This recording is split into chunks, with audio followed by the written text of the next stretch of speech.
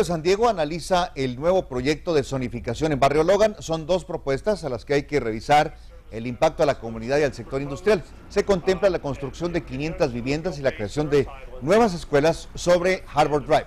El regidor y candidato alcalde de San Diego, David Álvarez, demandó acciones que consideren a todas las partes, empresas y vecinos. Ninguno de los dos planes, eh, yo creo, tiene esa separación los dos tienen el conflicto, que al cruzar la calle vas a tener un uso que no es compatible. Vas a tener una casa de un lado y una fábrica, algo de, que, está emitiendo ah, ah, cosas que, son malas para, la salud. Esta medida será eh, programada para considerarse en el pleno de Cabildo durante la próxima semana. En Tijuana se busca incentivar